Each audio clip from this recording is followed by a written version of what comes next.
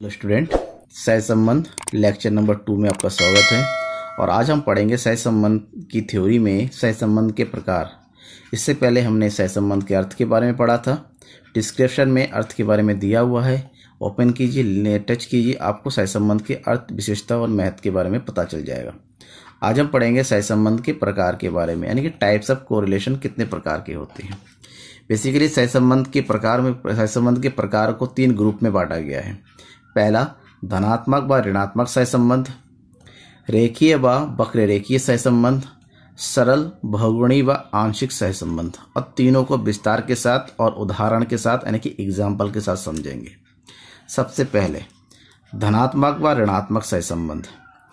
क्या होता है? सबसे पहले धनात्मक सहसंबंध को समझें। धनात्मक सहसंबंध। दो समंग श्रेणियों में परिवर्तन एक ही दिशा में होता है तो उसे धनात्मक सहसंबंध कहते हैं। जब हमारे पास दो चर होते हैं या दो श्रेणियाँ होती हैं, जिसका परिवर्तन एक जैसा होता है। एक जैसा अर्थात, अगर एक श्रेणी में वृद्धि होती है तो दूसरी श्रेणी में भी वृद्धि होनी चाहिए। एक श्रेणी में कमी होती है तो दूसरी श्रेणी में भी कमी होनी चाहिए। जब इस प्रकार का संबंध श्रेणियों के बीच में होता है तो उसे हम सह, धनात्मक सहसंबंध के नाम से जानते हैं। फॉर एग्ज़ाम्पल दो चर है एक्स और वाई यहाँ पर एक्स में वृद्धि पाँच, दस, पंद्रह, उसके आधार पर वाई में देखिए इक्कीस, चौबीस, सत्ताईस।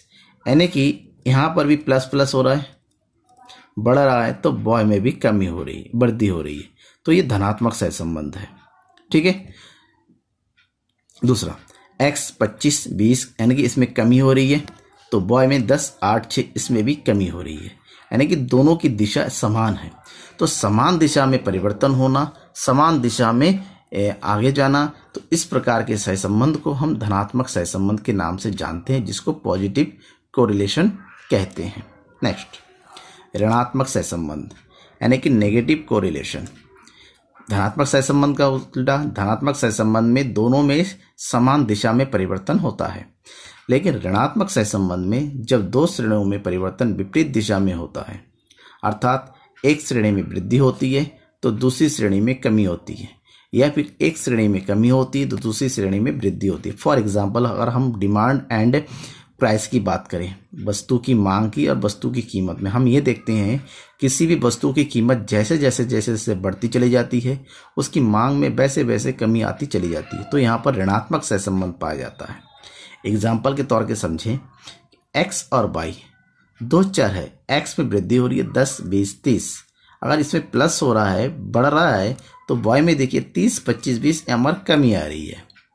उसके उल्टा दूसरा लेते हैं। एक्स में जो है कमी आ रही है, तीस, पच्चीस, बीस तीस की तुलना में बॉय में वृद्धि हो रही है। सेवन फोर्टीन ट्वेंटी वन यानी कि यहाँ माइनस है और यहाँ पर प्लस है। तो इस प्रकार के संबंध को ऋणात्मक सहसंबंध कहते हैं। अब हम दूसरे ग्रुप में आते हैं। वर्ग टू। रेखीय व रेख वक्र रेखीय सहसंबंध। रेखीय और वक्र रेखीय सहसंबंध। सबसे पहले रेखीय सहसंबंध, यानी कि लीनियर कोरिलेशन यदि दो समंग श्रेणियों की परिवर्तन का अनुपात स्थायी होता है, अब यहाँ पर अनुपात का मतलब ये होता है, जो दो चर परिवर्तित हो रहे हैं, उसमें परिवर्तन होने का अनुपात, यानी कि परिवर्तन होने की दर अगर एक जैसी होती है, पहले में एक तो दूसरे पाँच हो रहा है तो हर बार एक और पाँच के अनुपात में परिवर्तन होना चाहिए। तो जब समान अनुपात में परिवर्तन होता है तो उसको रेखीय सहसंबंध होता, कहते हैं। रेखीय सहसंबंध में दोनों चरों के बीच विचरण का अनुपात स्थायी होता है। विचरण यानी कि परिवर्तन का अनुपात स्थायी होता है, यानी कि एक जैसा होता है। एग्ज़ाम्पल एक्स और वाई दो चर है। एक्स में दस, बीस, तीस, यानी कि दस दस का परिवर्तन हो रहा है और वाई में पचास से सौ सौ से पचास, यहाँ पर पचास पचास का परिवर्तन हो रहा है। यानी कि एक्स में होने वाले दस परिवर्तन और उसमें वाई में परिवर्तन, हर बार समान है यानी कि दोनों में परिवर्तन कितना? एक और पाँच का है। तो इसे हम धनात्मक सॉरी रेखीय सहसंबंध कहते हैं, क्योंकि हमारा परिवर्तन होने का जो दर है, वो एक समान है। दूसरा, रेखीय, वक्र रेखीय सहसंबंध वक्र रेखीय सहसंबंध में ये रेखीय सहसंबंध का बिल्कुल विपरीत है, अर्थात परिवर्तन का अनुपात स्थिर नहीं होता है। यानी कि जो x और y में जो परिवर्तन होगा, यानी कि दो बस चरों के बीच में जो परिवर्तन होगा, वो अलग अलग अनुपात में तो कभी भी कुछ भी हो सकता है। जैसे पहले यहाँ पर x में 10 y में 20 यूनिट एक्स तीस तो वाई है 50 फिर एक्स तीस है वाई है 90 अब दोनों में अनुपात निकाले पहले जो है, एक और दो का अनुपात है, फिर दो और पाँच का अनुपात है, फिर एक और तीन का अनुपात है। जहाँ पर अनुपात में परिवर्तन होता है तो ऐसे अनु, ऐसे सहसंबंध को हम वक्र रेखीय सहसंबंध कहते हैं। तीसरा वर्ग, सरल, बहुगुणी और आंशिक सहसंबंध। ये बिल्कुल आसान है समझने में। सरल सहसंबंध, यानी कि सिंपल कोरिलेशन दो चरों के बीच पाए जाने वाले सहसंबंध को सरल सहसंबंध कहते हैं। जब हमारे चर केवल दो होते हैं एक्स और वाई अगर हम चाय और कॉफ़ी की बात करें तो यहाँ पर केवल दो ही चर है, चाय और कॉफ़ी के बीच में अगर संबंध निकाला जाए तो ऐसे संबंध को हम सरल सहसंबंध कहते हैं। इन दोनों में से एक कारण और दूसरे उस कारण का प्रभाव बताती है। मतलब यहाँ पर एक कारण होता है, दूसरा उसका प्रभाव होता है। यानी कि एक वस्तु में होने वाले परिवर्तन का प्रभाव दूसरे वस्तु में पड़ता है। यदि अगर हम बात करें चाय और कॉफ़ी की तो चाय में अगर वृद्धि होती है, चाय की कीमत में अगर वृद्धि होती है तो कॉफ़ी की मांग बढ़ जाती है। यानी कि चाय में होने वाले कारण का प्रभाव कॉफ़ी पर पड़ता है। अब हम थर्ड ग्रुप के दूसरे टाइप की बात करें। बहुगुणी सहसंबंध। बहुगुणी सहसंबंध का मतलब होता है, जब स्वतंत्र चर मूल दो या दो से अधिक होते हैं और आश्रित चर मूल केवल एक ही होता है, तब उसे बहुगुणी सहसंबंध कहते हैं। यानी कि यहाँ पर चर जो है, दो से ज़्यादा होते हैं और उस पर आश्रित चर मूल एक होता है। तो ऐसे को हम बहुगुणी सहसंबंध कहते हैं फॉर एग्ज़ाम्पल और हम वर्षा की मात्रा की बात करें और उर्वरक फ़र्क इन दोनों का जो उत्पादन उत्पादन फ़र्क करता है। यानी कि यहाँ पर ये आश्रित है कि उत्पादन अगर खेतों की अगर उत्पादन का प्रभाव जो है, बारिश पर भी होता है उर्वरक के प्रयोग।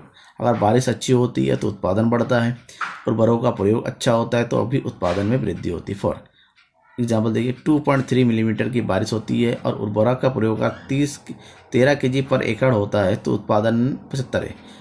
वर्षा की मात्रा बढ़ी उर्वरक का प्रयोग बढ़ा तो उत्पादन में भी वृद्धि हुई। उसी प्रकार के जो सहसंबंध है, इस सहसंबंध को यानी कि दो से अधिक चरों का प्रयोग अगर तीसरे पर पड़ता है तो उसे हम बहुगुणी सहसंबंध कहते हैं। आंशिक सहसंबंध